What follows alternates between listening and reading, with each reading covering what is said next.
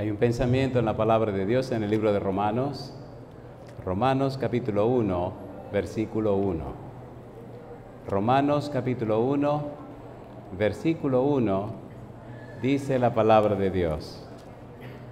Pablo, siervo de Jesucristo, llamado a ser apóstol, apartado para el Evangelio de Dios. ¿Podemos estar en pie para orar?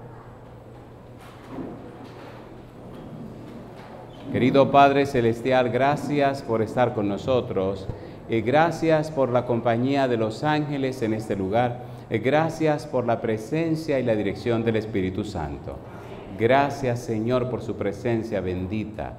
Gracias por los amigos y amigas que nos acompañan y gracias por todos aquellos y aquellas que nos siguen a través de la radio, la internet o la televisión. Pedimos su bendición sobre todos y todas. Y ahora Dios le rogamos que el Espíritu Santo nos traiga palabra de vida para la vida eterna. Que no recibamos palabra de hombre, pero la palabra de Jehová que vive y permanece para siempre. Háblenos, Señor. Se lo pedimos en el nombre de Jesús. Amén. Durante la semana estamos trabajando con la serie Un refugio para la familia. Cuando estudiamos el libro de Apocalipsis descubrimos que Dios presenta en el mismo a la persona de Cristo Jesús. Por tanto, el Apocalipsis es una cristología. Cristología significa que es un estudio acerca de Cristo. Y hoy esta noche hablaremos un poco acerca de Cristo. La palabra Cristo en griego significa ungido. Es la misma palabra hebrea Mesías que significa ungido. Y ya veremos en un momento algunos detalles. Cuando usted lee el libro del Apocalipsis, dice el versículo 1 que es la revelación de Jesucristo que Dios le dio. Cuando usted lee el libro de Romanos capítulo 1, versículo 1, dice Pablo, siervo de Jesucristo, llamado a ser apóstol, apartado para el Evangelio de Dios. Pablo nos está diciendo que el Evangelio es de Dios y que Él es llamado a predicar ese Evangelio.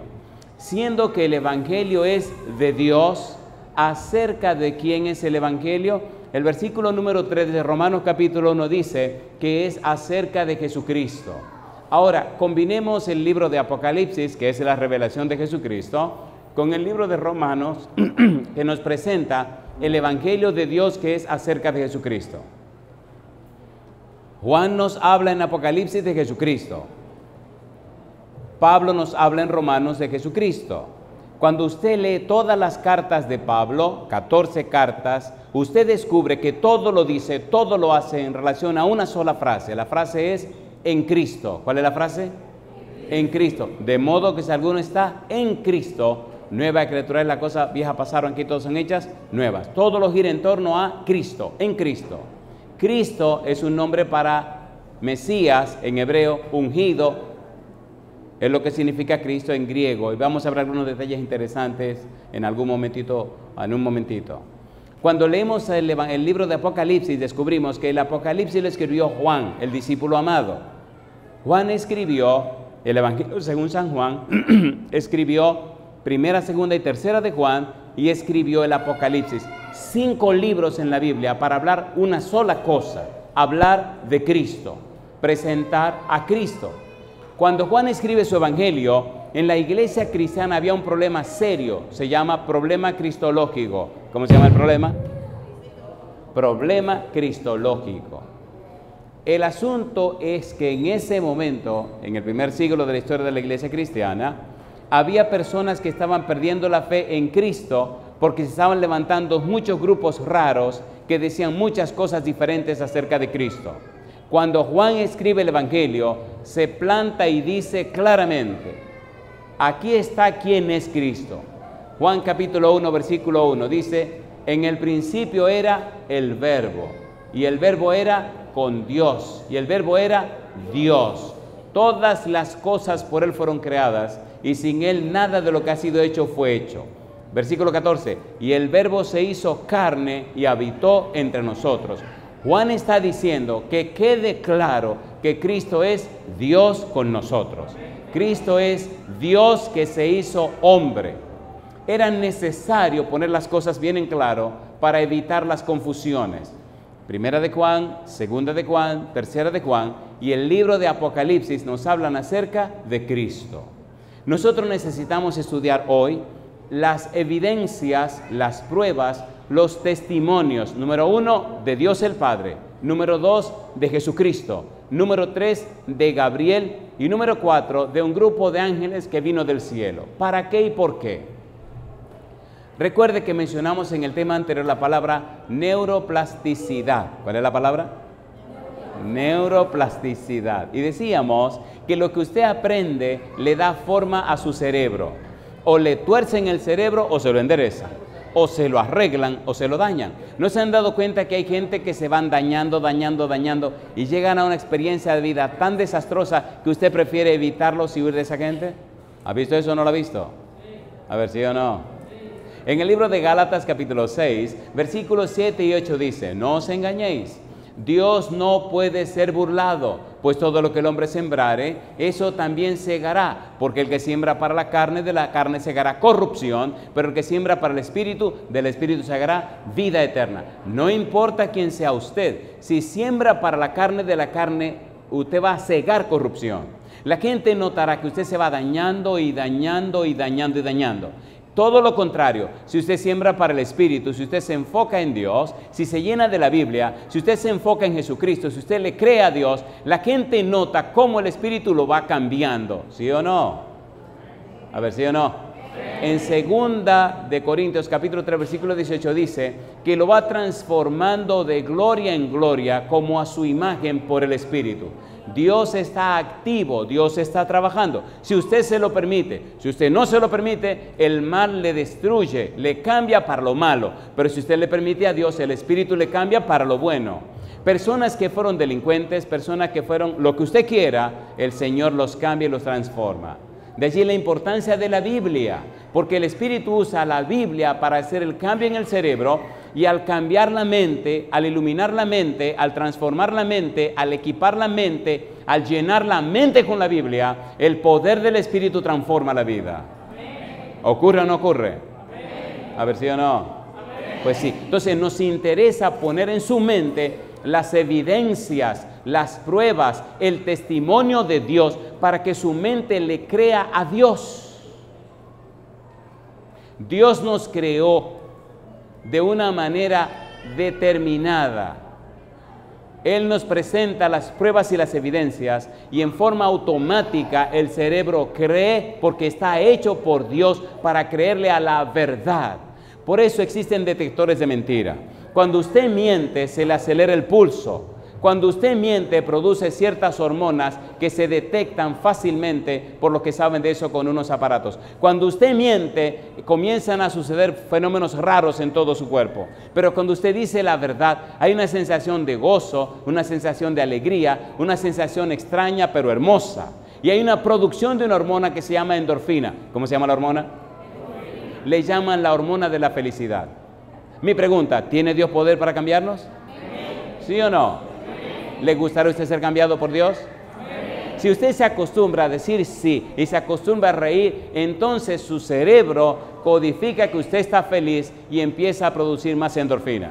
Y entonces usted se siente alegre, se siente contento y el tiempo pasa y usted no se da cuenta. ¿Le gustaría que, que se cambie la vida suya? Sinceramente, sinceramente. ¿A cuánto le gustaría vivir sin enfermedad? Entonces comencemos por ahí. Cuando estudiamos la Biblia, descubrimos entonces que Dios da testimonio acerca de Jesucristo. Necesitamos en el tiempo que nos queda ver estos cuatro testimonios. Recuerde, Dios el Padre testifica acerca de Jesús. ¿De dónde viene Dios? De arriba. Jesús testifica acerca de él mismo. ¿De dónde vino Jesús? De arriba. Gabriel testifica acerca de Jesús. ¿De dónde vino Gabriel? De arriba. Y el grupo de ángeles que se apareció cuando Cristo nació, habló con los pastores, ¿de dónde vinieron?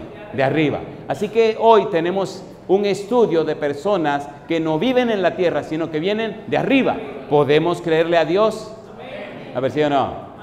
¿Podemos creerle a Jesús? ¿Podemos creerle a Gabriel? ¿Podemos creerle a estos ángeles, sí o no? Recuerde que yo no dije, podemos creer en Dios, podemos creer en Jesús, podemos creer en Gabriel, podemos creer en los ángeles. Yo no dije eso, dije, podemos creerle a. ¿Por qué dije así?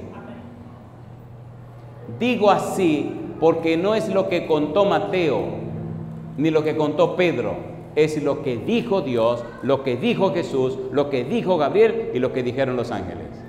Si usted le cree a Dios, Cristo dijo, al que cree todo le es posible. ¿Están listos para que comencemos? ¿Están listos o no están listos? Una pregunta interesante antes de, de continuar con esto. La mayoría de la gente que conocemos sabe acerca de Dios. Pero una cosa es saber acerca de Dios y otra cosa es creerle a Dios. Cuando usted sabe acerca de Dios, tiene información acerca de Él. Pero cuando usted le cree a Él, Él hace maravillas en su vida. ¿Se entendió o no se entendió? Una cosa es creer en Dios y otra cosa es creerle a Dios. En el libro de Hebreos capítulo 11, versículo 6 dice, porque el que se acerca a Dios es necesario, ¿qué cosa? que crea que Él existe y es galardonador de todos los que le buscan. Si están faltando las bendiciones en tu vida, es posible que esté faltando una cosa. No estás estudiando la Biblia, no estás orando lo suficiente, no estás pasando suficiente tiempo con Dios. ¿Por qué usted dice eso? En el libro de Romanos capítulo 10, versículo 17, la Biblia dice, así que la fe es por el oír y el oír por la palabra de Dios. ¿Sí o no? ¿Quién produce la fe? Jesucristo. En el libro de, de, Galatas capítulo 5, versículos 22 y 23, habla de los frutos del Espíritu y uno de esos frutos es la fe. Pero en Hebreos capítulo 12, versículo 2 dice que Cristo es el autor y consumador de la fe. Si quieres la fe de la Biblia, tiene que llenarte con la Biblia. Si quieres la fe bíblica, la fe de Dios, necesita llenarte con la Biblia. Después que veamos el testimonio del Padre, el testimonio de Jesús, el testimonio de Gabriel y el testimonio de los ángeles, hay una sola decisión. O le creemos a Dios o lo rechazamos. ¿Están listos para la aventura? A ver, ¿están listos o no están listos? ¿Seguro que están listos? Vamos al libro de Mateo capítulo 3 versículos 16 y 17. Vamos rapidito. San Mateo capítulo 3, versículo 16 y 17. Usted me dirá, ¿y cómo me beneficia esto a mí? ¿Para qué tengo yo que aprender esto? ¿Qué sentido tiene esto? ¿Cómo me beneficia esto a mí a mi familia? Escuche por favor. Es verdad que Dios es todopoderoso, pero no es caprichoso. Y es verdad que Dios todo lo puede, pero no es dictador. Cristo dijo, al que cree, todo le es posible. Si usted no cree, entonces hay tres ciudades, Capernaum, Corazín y Bethsaida. Cristo vivió en Capernaum y no le creyeron. Y Cristo dijo, ay de ti Bethsaida, ay de ti Corazín, ay de ti Capernaum, que si en Tiro y en Sidón se hubieran hecho los milagros que han sido hechos en ti, hace tiempo que se hubieran arrepentido, pero el castigo para esas ciudades será más liviano que el castigo para ti. Hay gente que oye, hay gente que ve y no quiere creer.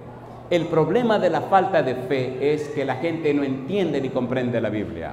Pero cuando usted llena la cabeza con la Biblia, la misma Biblia produce la fe. Porque la Biblia tiene las evidencias para creerle a Dios. ¿Se entiende o no se entiende? ¿Y qué es lo que dice Dios acerca de Jesús? Cuando Juan el Bautista bautiza a Jesús en el río Jordán, Dice la palabra de Dios San Mateo capítulo 3 versículo 16 17. Vamos rapidito, leamos. San Mateo capítulo 3 versículo 16 y versículo 17. ¿Qué dice el 16? San Mateo capítulo 3 versículo 16 dice la Biblia, y Jesús después que fue bautizado subió luego del agua y aquí los cielos le fueron abiertos y vio al Espíritu de Dios que descendía como paloma y venía sobre él. Y hubo una voz de los cielos que decía, ¿qué cosa? Este es mi Hijo amado, en quien tengo complacencia. Pregunto, ¿quién subió del agua? Jesús. ¿Quién vino en forma de paloma? ¿Y quién habló desde el cielo? Mi pregunta, ¿hay una manifestación de Dios en ese lugar, sí o no? Pues sí. Dios dice, este es mi Hijo amado, en quien mi alma tiene complacencia. Capítulo 17, versículo número 5. Vamos rapidito. San Mateo capítulo 17, versículo 25. Están en el monte de la transfiguración. ¿Se acuerdan ustedes cuando Cristo se transfiguró y resplandeció como si fuera una luz, un bombillo? ¿Se acuerdan o no se acuerdan? Y que apareció Elías y Moisés. A ver, ¿se acuerdan? Entonces dice la Biblia, versículo 5, que Dios apareció también. Dice el versículo 5, mientras él aún hablaba, una nube de los... ¿Qué dice? Una nube de luz los cubrió y aquí una voz desde la nube que decía, ¿qué cosa? Este es mi Hijo amado en quien tengo, ¿qué cosa? Complacencia. Recuerde que había tres discípulos con Jesús en el monte. Estaba Pedro, estaba Santiago y estaba Juan. Escuche, cuando bajaron del monte, Cristo les dijo, no le digan esto a nadie todavía. Pero Pedro escribe acerca de eso. Mire lo que dice segunda de Pedro capítulo 1, versículos 17 y 18. Segunda de Pedro capítulo 1, versículo 17 y 18. Recuerde, estamos trabajando con su cerebro. Estamos poniendo semillas de la Biblia en el cerebro. Y mientras más semillas de la Biblia pongamos en su cerebro, más pronto usted se le hará creer. Y mientras más pronto usted le crea a Dios, más pronto Dios le dará bendiciones. Porque Él solo bendice a los que le cree. ¿O no? ¿Es hermoso o no es hermoso? Ya me funcionó el cerebro, ya me acordé. Vamos al libro de Segunda de Pedro, capítulo 1, versículos 17 y 18. El cerebro es un asunto serio, ¿no? ¿Qué dice el versículo 17? ¿Cómo dice el 17? Segunda de Pedro 1, 17. Pues, dice Pedro, cuando Él resucitó, cuando Él recibió de Dios, de Dios Padre, honra y gloria, le fue enviada desde la magnífica gloria una voz que decía, ¿qué cosa decía? Este es mi Hijo amado en el cual tengo complacencia. Y dice el versículo 18, y nosotros oímos esta voz enviada del cielo cuando estábamos con Él. ¿Dónde dice Pedro? En el monte santo. Pregunto, ¿estaba Jesús ahí? Sí. ¿Estaba Pedro ahí? Sí. ¿Estaba Juan ahí? Sí. ¿Santiago? Sí. ¿Elías? Sí. ¿Moisés? Sí. Y entonces Dios habló. Mi pregunta, ¿son pruebas o no son pruebas? ¿Son evidencias o no son evidencias?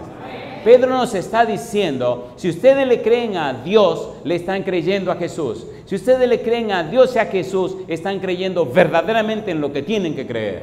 Estos no son cuentos, es una historia verídica acerca de Dios interesado en los seres humanos. ¿Vino o no vino Jesús? ¿Sí o no? ¿Habló o no habló Dios? ¿Murió o no murió en la cruz? Entonces cuando Dios dice yo te perdono, Él dice yo te perdono. Aunque usted no se perdone a usted mismo. La tragedia no es si Dios me perdona, el problema es que el humano no se perdona a sí mismo. ¿Sí o no? ¿Es así o no es así? Viven rumiando los pecados que hace tiempo que Dios lo perdonó. Recordando tonterías que Dios ni ya ni se acuerda. Porque dice la Biblia que cuando Él perdona, olvida. Y que los pecados los toma y lo echan al profundo de dónde? De la mar. ¿Qué es lo que está buceando? Deje esos pecados allá abajo, ¿a quién le importan? No, que usted no sabe cómo yo era cuando era joven. ¿Y a quién le importa eso? En algunos lugares donde voy, tengo que atender mucha gente y, bueno, atender mucha gente. Y algunos vienen que han sido cabezones, perdón, han sido cabezones, gente que se han portado mal en la vida, que han hecho muchas diabluras, han hecho muchas cosas raras, y ahora son cristianos, gente sana, cambiada y transformada por el poder de Dios. Y parece que se emocionan mucho, como que quieren que sepa que eran pichones de demonio, como que eran personas. Y ¿pero a quién le interesa que sepan que eran malos? ¿Pero qué es esto? Y comienzan, ay, usted me ve aquí tranquilo en la iglesia, pastor, pero usted no sabe el demonio que yo era. Digo, a mí no me importa, yo, a mí no me interesa que usted sea un demonio. No, pero yo le voy a contar algo yo no quiero oír. No, porque yo voy a decir, tampoco me interesa oír. tranquilo, deje su basura en el pasado. ¿A quién le importa la basura? ¿O no? A ver si o no. Si el Señor te perdonó, te perdonó, punto y se acabó. ¿A quién le interesa oír esas tonterías del pasado? Ya pasaron. Háblame de ahora. ¿Qué está haciendo Dios con tu vida ahora? Ah, no, mire, ahora el Señor ya trajo a mi esposa, trajo a mis hijos, mis amigos en el trabajo. Y mi mamá me dice, a la verdad, fulano, que tú no eres el mismo. Y hasta mi mamá ya se entregó al Señor. Mis hermanos que saben que yo era un demonio, ahora están viniendo a la iglesia. Así que el demonio lo cambiaron en un ángel entonces. Me dice, Digo, pues sigamos con el ángel, dejemos los demonios tranquilos. Pregunto, ¿habló Dios o no habló Dios? ¿Estaba Pedro ahí? ¿Sí o no? ¿Testificó Pedro de que Dios habló acerca de Jesús? Sí. Aquí podemos complicar la cosa y pasarnos toda la noche haciendo un análisis o un estudio acerca de la palabra Hijo de Dios, como aparece en el Salmo capítulo 2, versículo 7, y los versículos 1 al 3 y versículo 12. Pero yo no creo que tengamos tiempo de hacer toda esa vuelta y vuelta. Dejemos la cosa clara. ¿Dijo Dios que Jesucristo es su Hijo amado, sí o no? ¿Qué significa hijo amado? Significa el Mesías sufriente, el que vino a dar su vida por los pecadores. Isaías capítulo 42, versículo 1. ¿Y qué significa hijo? significa Mesías, Dios que se hace hombre. Hijo es un título. Salmo capítulo 2, versículo 7 dice, yo publicaré el decreto, Jehová me ha dicho, mi hijo eres tú, yo te he engendrado hoy. Es un título. El Dios Hijo se somete al Dios Padre. ¿Llamó Cristo al Padre Padre? ¿Sí o no? A ver, ¿sí o no? Sí. Número uno, el Padre testifica que Cristo es el Hijo de Dios que Cristo es el Mesías. Ustedes recuerdan que después del capítulo 3 viene el capítulo 4 de Mateo, ¿se acuerdan o no se acuerdan? Esperen, esperen, no estoy bromeando, estoy diciéndole que en el 4 viene la tentación. Fue al desierto, lo llevó el Espíritu al desierto, lo tentó el diablo. ¿Cómo empezó la tentación las tres veces Satanás? Escuche, Satanás comenzó la tentación diciendo, siendo que eres el Hijo de Dios, cuando leemos en español es una bendición, pero cuando leemos en griego es más grande la bendición. En español dice, si eres el Hijo de Dios, di que estas piedras se conviertan en pan. ¿Dice así o no dice en español? Pero en griego dice una afirmación. Dice, siendo que eres el Hijo de Dios, di que estas piedras se conviertan en pan. Y usted me dirá, ¿por qué usted dice que esa es una traducción correcta? Porque ya veremos en San Marcos, capítulo 1, capítulo 3, capítulo 5, que los demonios dicen, yo sé quién eres, el Hijo de Dios. ¿Se entendió? ¿Saben los demonios que Cristo es el Hijo de Dios? A ver, ¿sí o no? Sí. Escuche ahora. Cuando el demonio le dijo, siendo que eres el Hijo de Dios, di que estas piedras se conviertan en pan. ¿Qué le estaba diciendo Satanás? Yo sé que tú eres el Mesías. Yo sé que tú eres Emanuel. Yo sé que tú eres Dios con nosotros. Yo sé que tú eres el creador de todo el universo. En el libro de Colosenses capítulo 1, versículo 15 al 17 dice que todo lo creado lo hizo Jesús. Las cosas visibles e invisibles, sean tronos, sean principados, sean potestades, todo fue hecho por Él y para Él. Satanás lo sabe. Satanás sabe que todos los ángeles los hizo Jesús. Y como sabe todo, le tiró una trampa para que usara su poder y convirtiera la piedra en pan. ¿Tenía Cristo poder para convertir piedra en pan? Sí o no. Pero si lo hace, cae en la trampa de Satanás. Gracias a Dios que Cristo respondió, como necesitamos responder nosotros, siempre respondió, escrito está. ¿Cuál es la respuesta correcta? Escrito está. Pero para responder, escrito está, tiene que leer la Biblia. Si tú no lees la Biblia, no vas a responder nada porque no sabe. ¿O oh, no? A ver, ¿sí o no? Hay algo interesante cuando usted estudia la Biblia y es que el ambiente que usted está se llena de la presencia de Dios, los ángeles se acercan, el tiempo pasa y usted no se da cuenta, porque la palabra de Dios es la herramienta, el instrumento que Dios hizo para crear todas las cosas. Dios mandó y existió, ¿o no? Y dijo Dios, se ha hecho, ¿y qué pasó? Y ocurrió. Alabado sea su nombre. Volvamos otra vez con Dios. Estamos claros entonces que Cristo es Hijo de Dios, es el Mesías, es el Cristo. Recuerde, la palabra Mesías en hebreo significa ungido y la palabra Cristo en griego significa ungido. ¿Qué significa Mesías? ¿Y qué significa Cristo? No olviden eso. Dios dice, este es el ungido el Mesías, es Emanuel. ¿Qué significa Emanuel? Dios con nosotros. ¿Es importante esto o no es importante? ¿Por qué es importante? Romanos capítulo 8, versículo 32, la Biblia dice, el que no escatimó ni aún a su propio Hijo, sino que lo entregó por todos nosotros, ¿cómo no nos dará juntamente con Él todas las cosas? ¿Vino Cristo o no vino? A ver si ¿sí o no. ¿Estuvo Dios de acuerdo que viniera? ¿Sabía Dios que iba a morir en la cruz? ¿Que iba a dar su vida por la vida nuestra? ¿Esto ¿Es usted una persona valiosa? ¿Usted vale o no vale? A la luz de la vida de Dios y a la vista del cielo, ¿tiene usted valor o no tiene valor? ¿Cuánto vale usted? Mire la cruz del Calvario, mire a Cristo en el Calvario. No hay nadie que lo pueda comprar si usted le entrega su vida a Jesús. Nadie puede pagar la sangre de Jesús. Todo ese valor tiene usted. Ay, le voy a decir un secreto. No existió en el pasado, ni existe en el presente, ni existirá en el futuro nadie igual a usted. Nadie. Absolutamente nadie podrá ser más feo, más bonito, más alto, más bajo, más blanco, más negro, pero igualito a usted, nadie. El código genético que Dios hizo para usted es único y no hay otro más. Entonces, ¿por qué no le creemos a Dios?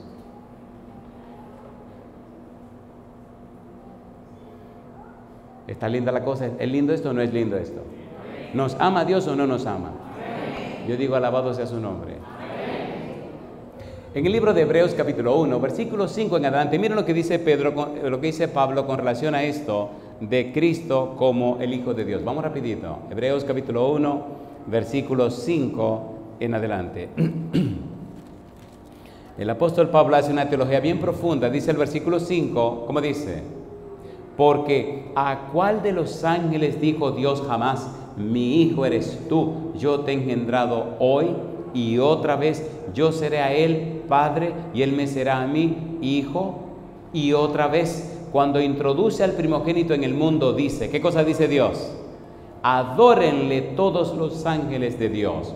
Ciertamente, de los ángeles dice, el que hace a sus ángeles espíritus y a sus ministros llama de fuego, mas del Hijo dice, ¿qué cosa dice?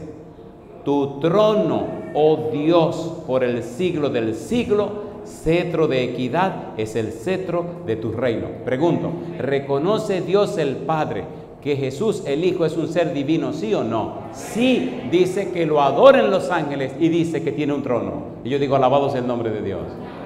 Cuando su cerebro codifica estas lecciones, estas enseñanzas, empiezan a ocurrir cosas interesantes en su cerebro. En la medida que usted aprende la Biblia, el poder de Dios que está contenido en su palabra comienza a limpiar, a aclarar y esclarecer su manera de pensar. En la forma que sus pensamientos se convierten en una extensión de los pensamientos de Dios, todo su, cuerpo, toda su mente, todo su ser comienza a ser cambiado a imagen y semejanza de Cristo Jesús. Pregunta número uno, ¿testificó Dios acerca de Jesús? ¿Sí o no? ¿Dijo Dios que Jesús es el Mesías? ¿Que Jesús es el Cristo? ¿Vino Cristo a la tierra? Entonces su cerebro lo puede creer. Y yo digo, alabado sea Dios. ¿Eso es una persona importante? ¿Es una persona valiosa? ¿Sí o no? ¿Le dio el Señor valor en Cristo Jesús? ¿Con qué compró Dios el derecho para usted? Primera de Pedro capítulo 1, versículo 18 y 19. Con la sangre preciosa de Cristo Jesús. No hay dinero, ni plata, ni oro que lo compre a usted, porque Cristo lo compró con su propia vida. Y yo digo, alabado sea el nombre de Cristo. La relación con Cristo es lo que se llama cristianismo. Cristianismo significa que conoce a Cristo y lo ama. Religión es otra historia pero cristianismo es un asunto muy diferente. La tragedia del mundo de hoy es que hay demasiados religiosos, pero los cristianos lamentablemente son pocos cada vez. Oigan, ¿puedo decir algo bien fuerte que le duela? A ver, ¿puedo o no puedo? A mí me gusta que sean bravos, porque aunque no digan que sí, yo como quiera lo voy a decir. El mundo de hoy necesita ver el poder de Dios, ¿o no? ¿No, ¿No le ha llamado la atención a ustedes que tanta gente que supuestamente son cristianas en el mundo y este mundo se daña cada vez más? ¿Sí o no? ¿Qué es lo que está pasando? Que un reguero de cristianos no son ninguno cristiano, solo son religiosos, son unos mentirosos. Fingen lo que no son. ¿O no? A ver si o no. Andan fingiendo, engañando, haciendo trampa y haciendo malos negocios y fingiendo cristianismo. Eso, eso, eso es criminal. Y hay gente que han perdido la fe por unos bandidos que se llaman cristianos y no son nada. ¿O no? A ver, ¿sí o no? Alguien dijo en un país muy lejos de aquí, a mí no me gusta eso de usted, usted es muy duro. Digo, duro no, esto es la verdad. ¿Es la verdad o no es la verdad? ¿Cuántos años duró Judas con el Señor Jesús? y medio. ¿Y quién vendió a Jesús? Y oiga, oiga, esto del chisme era un, era un apóstol. Ay, mamacita linda. Caminó con Jesús, vivió con Jesús, comió con Jesús, predicó con Jesús, estuvo con Jesús y era un diablo. El mismo Jesucristo lo dijo. Dice Cristo, no se eligió a usted de los dos y uno es el diablo. ¿Sabía Cristo que tenía un diablo en el grupo? Entonces se aparece un pichón de demonio con usted, tranquilo. Si Jesucristo tuvo uno, ¿por qué no van a aparecer más? Asegúrese usted, arreglese, agárrese su vida con el Señor, ¿o no? No, que yo no voy porque la gente es mala. ¿Y usted qué? Deje tranquilo.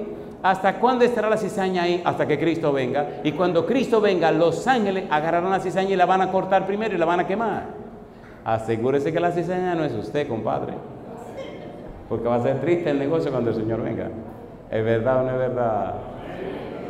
¿Es así o no es así? Así que desde de estar mirando a la gente, mire al Señor. En Isaías capítulo 45, versículo 22, Dios dice, mirad a mí todos los términos de la tierra, porque yo soy Dios y no hay más. Punto y se acabó. Si usted lo mira a Él, si usted lo contempla a Él, entonces su vida se llenará de luz. Habrá gozo. Porque la Biblia dice, el gozo del Señor mi fortaleza es. No concibo una vida cristiana llena de amargura, de ansiedad. Ah, ah, ¡Qué relajo! Pero ¿cómo es lo posible? Oiga, ¿no dice que el gozo del Señor? A ver si o no. Cuando usted se enamora, ¿se pone contento o se pone triste? Ay, qué tragedia, ¿qué te pasa? Me enamoré de esa mujer, qué tragedia. No, al contrario, usted está contento o no está contento. A ver si o no. Imagínese que usted tenga un novio o una novia, cuando vengan de usted se deprima y no quiere hablar, no quiere decir nada. ¿Y qué es lo que te pasa? Es que te amo demasiado. Cosa linda, Pero tú debes estar contento. No, no me siento depresivo. Yo no. Mire, deje eso porque eso no va a funcionar. En cambio, cuando usted conoce a Dios, sabe que Cristo murió por usted, que perdonó sus pecados, que el Señor le redime, que viene muy pronto a buscarle, que sus bendiciones son verdaderas que Dios le ha dado todo por usted. En el libro de Romanos, en el capítulo 8, los versículos 33 en adelante, hay cuatro cosas interesantes. Vamos a verlo rapidito. Aquí pasa como en todo el mundo, cuando uno se emociona, el tiempo se acaba. Romanos capítulo 8, mire qué cosa linda. Dios es tan amoroso, tan maravilloso, que nos da pruebas y evidencias de su gran amor. Vamos rapidito. Romanos capítulo 8, versículo 33. Mire lo que dice la Biblia. ¿Qué dice el 33? ¿Cómo dice? ¿Quién acusará a los escogidos de Dios? ¿Y cómo dice ahora? Dios es el que justifica. ¿Quién es el que condenará? ¿Y cuál es la, respuesta? Cristo es el que murió. ¿Qué dice ahora? Más aún, el que también resucitó, el que además, ¿qué cosa? Está a la diestra de Dios, el que también, ¿qué hace? intercede por nosotros. No hay nada ni nadie que pueda hacer que te pierdas cuando tú renuncias a todo y decides entregarte a Cristo Jesús. ¿Quién te acusará? Cuando dice Dios es el que justifica, está diciendo lo siguiente, ponga cuidado. Justificar, justicia, justificación, es una palabra de los tribunales. ¿Palabra de qué? La paga del pecado es, más la dádiva de Dios es. Justificación significa liberación del poder del pecado, liberación del castigo por el pecado. Significa declarar justo. Pregunta número uno, ¿murió Cristo para pagar mis pecados? ¿Sí o no? Si yo acepto la muerte de Cristo, ¿significa que me acreditan a mí la muerte de Cristo y entonces Cristo paga mis pecados? ¿Sí o no? Sí. ¿Quién proveyó a Cristo? Dios. ¿Quién es Cristo? El Cordero de Dios que quita, que carga el pecado del mundo. ¿Quién cargó la cruz? Cristo. ¿Quién soportó el pecado? Cristo. Entonces, si yo estoy en Cristo, pues ya Cristo pagó mis pecados. Así que en el tribunal divino me declaran como justo. Me dan la justicia de Cristo porque Él pagó mis pecados. Entonces se pregunta, ¿quién te va a condenar si ya Dios te justificó? ¿Es hermoso o no es hermoso? ¿Es hermoso o no es hermoso? Cuando éramos pequeños, bueno, cuando éramos niños, ah, mi mamá hacía diferentes tipos de dulces. ¿Le gusta el dulce a usted? Hacía dulce de maní, hacía dulce de batata, hacía dulce de coco con batata, hacía dulce de bueno, pero había un dulce especial que en la casa se hacía una sola vez al año. No creo que este dulce usted lo haya comido, no es habichuela con dulce. No creo que este dulce usted lo haya comido. Mamá ponía cuatro libras de habichuela en agua en la mañanita temprano. Y en la tarde, como cuatro o cinco de la tarde, se sentaba con cuatro libras de habichuela a quitarle el pellejito a cada granito. ¿Me están entendiendo? Granito por granito. Recuerdo que nadie la ayudaba, porque todos pensamos, yo era más chiquito, que eso era una locura, pero locura, venga, venga lo que viene ahora. La pobre mamá, después que despellejaba todo aquello, las manos le quedaban rojísimas. Botaba esa basura y agarraba todos esos granitos blancos y empezaba a preparar el dulce. Ay, mamacita linda, compadre. De eso salía como una pasta. Le echaba esta cosita chiquita, uva seca, ¿cómo se llama? Uvas. No, no, pasas. La pasa es uva seca, ¿verdad? Le echaba pasa, le echaba clavo dulce, le echaba canela, le echaba todas esas especies. Y eso olía. Entonces el más chiquito siempre estaba ahí chequeando. Y después que ese dulce ya estaba, lo quitaba de ahí lo ponía de a, a, refrescarse. Porque eso estaba caliente, caliente. Y después que se refrescaba lo ponía en la nevera. Mamacita linda, mamá. Óigase. Y después empezaba y le daba a todo el mundo lo que le tocaba. Era una olla grandísima, cuatro libras. Le daba a todo el mundo el poquito que le tocaba. Uy, yo me comía eso, pero corriendo. Y venía y me le sentaba al lado. Y ella estaba comiéndose el que le tocó a ella. Pero que en la nevera hay una olla llena con esa cuestión. Y empezaba. Mamá, ahora te quedó mejor que la otra vez.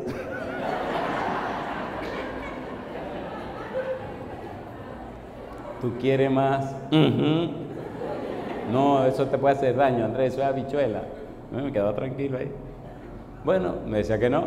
¿Usted cree que yo aceptaba ninguno? Yo tenía mi plan. Compadre, compadre. Uy, mil veces me agarraban con la mano en la masa. La puerta de la, nevera abierta, a una cuchara echándola a una. Entonces el lío de los dulces, que si usted come un poquito, poquito, quiere más. Porque una vez le dije, mamá, me va a dar la pela, pero yo voy a comer mucho para que se me quite la gana. Y me encontró con esta taza grandota así. Me dice, y es que tú te has vuelto loco. Y tú te vas a comer todo ese dulce. Para que se me quite la gana, mamá. Dice, a ti no se te va a quitar la gana nunca. Oiga, cuando usted conoce a Dios, cuando usted conoce la Biblia, cuando usted conoce esto, el plan de salvación, me recuerda a mi niñez. Mientras usted más aprende, usted quiere más. Y mientras más recibe, quiere más. Y mientras más conoce a Dios, quiere más. Hace 39 años que estoy caminando con Él. Y quiero más. Y yo pregunto, ¿es hermoso aprender acerca de Dios?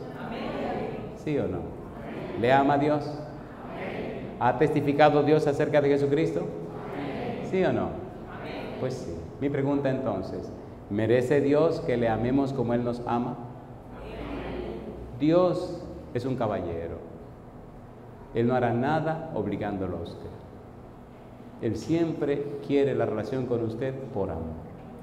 Por eso la Biblia dice, si me amáis, guardad mis mandamientos. Si usted tiene hijos y los hijos le obedecen, hay un no sé qué que le pasa en el corazón a usted.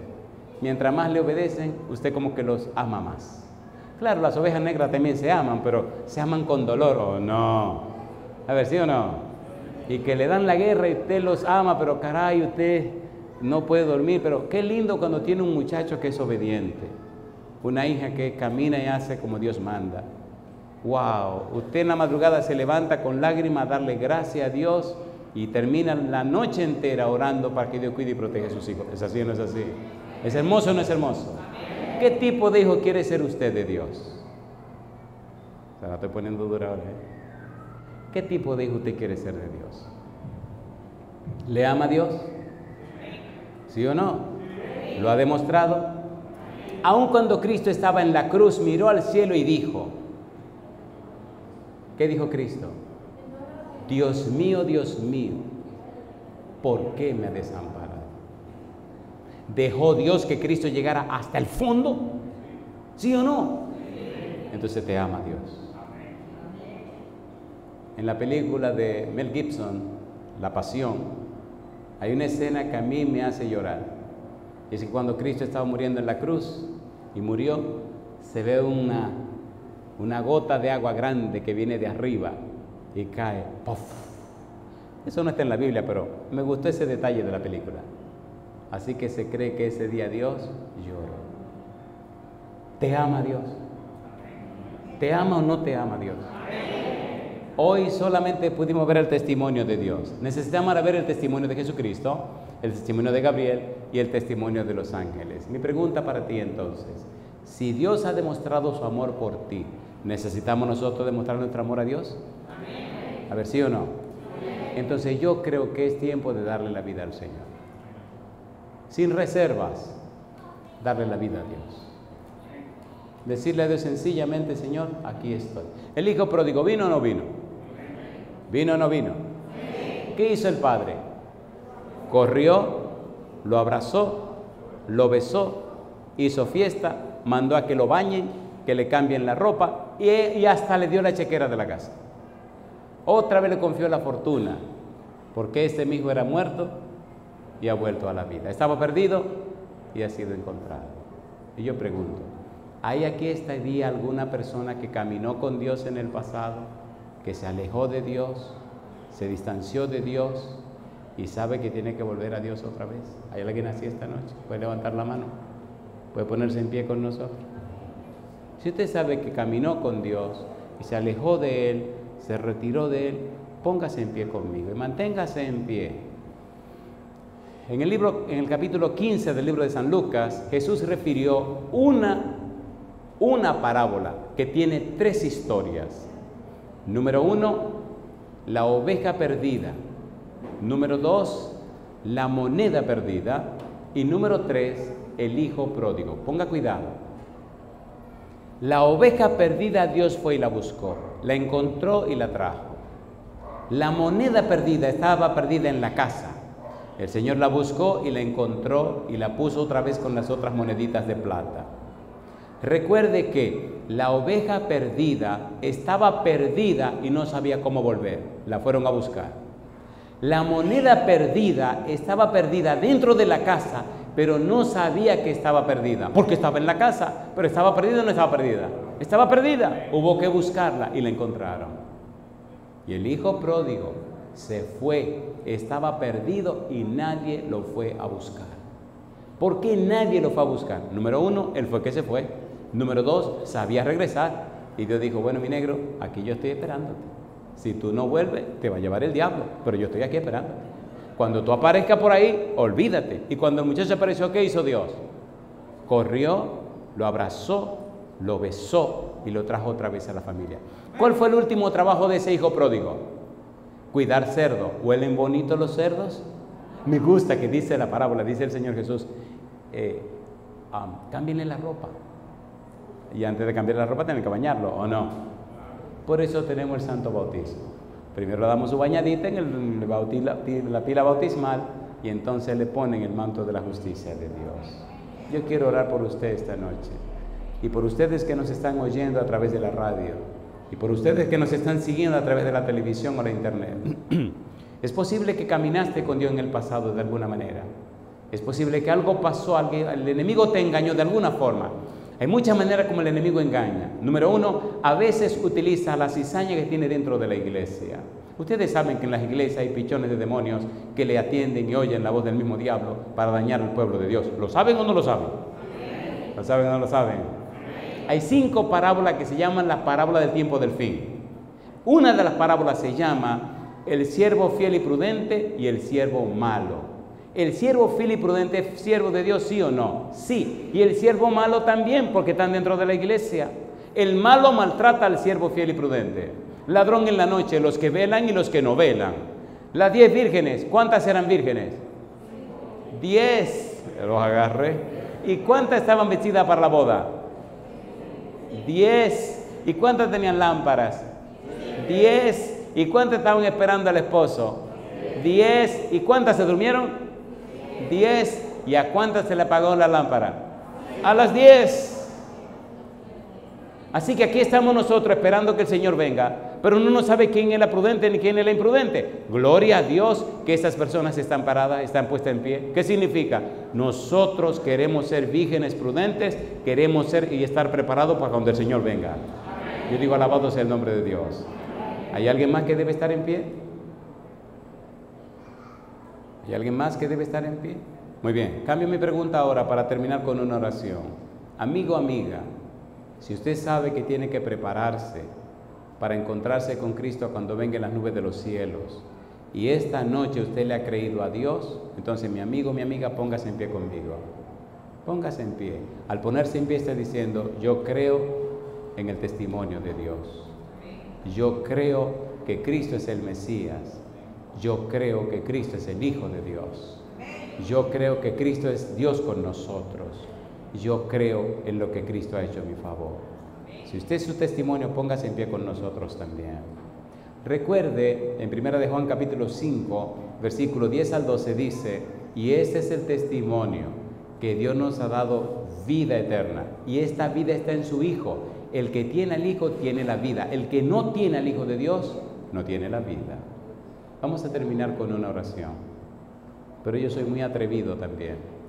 A mí me gustaría que usted se atreva a desafiar a esta gente curiosa y a todo lo que le van a ver en cualquier rincón del mundo y que hoy se vea en el cielo y en el universo que usted se coloca del lado del Señor. ¿Se atreve a venir conmigo aquí al frente para que oremos? Entonces vamos, venga para acá, venga con nosotros. Vamos a subir aquí arriba, venga, sin ningún miedo, ningún temor. Vamos a orar hoy y que el ángel que nos acompaña haga su video para que le lleve el informe a Dios y en ese informe se vea claro que usted esta noche hizo una decisión seria por Dios. San Mateo capítulo 18, versículo 10, el Señor Jesús hizo una declaración. Pueden subir aquí arriba sin ningún temor, pueden subir. Oiga qué linda declaración hizo el Señor Jesús. San Mateo capítulo 18, versículo número 10. Mire qué cosa linda. Dice el verso 10. Mirad que no menospreciéis a uno de estos pequeños, porque os digo que sus ángeles en los cielos ven siempre el rostro de mi Padre que está en los cielos. ¿Quién dijo esto? Jesús. Los ángeles de estas personas, ¿a quién le van a entregar el informe? A Dios. Señor, mire, hoy estos hijos y estas hijas suyos han tomado la decisión de volver a la casa del Padre. ¿Es hermoso o no es hermoso esto? ¿Es hermoso o no es hermoso? ¿Usted es familia o amigo de alguna de las personas que están aquí al frente? A ver, ¿cuántos son amigos o familia? ¿Verdad que este es un buen momento para apoyarles? ¿Por qué no viene y le acompaña? Venga. Yo me voy el domingo, pero me voy el sábado en la tarde de aquí y yo no sé cuándo volveré por acá. Pero estas personas que están aquí arriba necesitan el apoyo suyo. Así que si usted es familia, amigo o hermano o lo que fuere, por favor venga y apóyele. Si están listos o listas y en esta semana tienen que bautizarse, alabado sea Dios. Si no están listos ni preparados o preparadas, empiecen entonces el trabajo para que en un futuro próximo hagan sus arreglos. Como dijo Jesús, el que creyere y fuere bautizado será salvo. Hoy es un día de victoria en el cielo Hoy es un día de gloria en la tierra. Voy a pedir a los ancianos, si son tan amables, que pasen al frente con nosotros. Si el pastor está con nosotros, por favor, venga con nosotros también. Estas personas tenemos que atenderlas desde ahora y hasta que el Señor venga. Yo digo, alabado sea el nombre de Dios. Muy bien, podemos estar todos en pie para terminar con una oración. Recuerden, Dios ha hecho todo para nuestra salvación. Lamentablemente, los seres humanos no aceptan lo que Dios ha hecho. Cuando el Señor Jesús venga, la gente se perderá no porque son malas, se perderán porque no aceptaron a Jesús. ¿Recuerdan al joven rico? ¿Se acuerdan del joven rico? No aceptó a Jesús. ¿Se acuerdan de Saqueo? Aceptó a Jesús. La gente no se salva porque es mala, ni se pierde porque es mala, no se salva porque es buena, ni se pierde porque es buena. La gente se salva si acepta a Cristo Jesús. La diferencia es Cristo Jesús. La razón de ser es Cristo Jesús. ¿Hay alguien más que debe pasar al frente todavía? ¿Hay alguien más que debe pasar al frente? Me dicen que ahí afuera hay personas que están siguiéndonos. Este, no sé dónde, cuál es la cámara que están utilizando, pero yo vi que lo están proyectando ahí afuera. Usted, ¿Esa es la cámara? Ah, mi amigo, usted es el hombre entonces. Podemos orar ahora. Alabado sea Dios. Alabado sea Dios. Adelante. Alabado sea Dios. Permite a Dios que eso sea el comienzo de algo grande. Permite a Dios que eso sea el comienzo de muchas almas de esta ciudad de Barahona para que vayan al reino de los cielos. Cuando todo este relajo se termine y estemos en la patria celestial, qué hermoso será recordar esos días.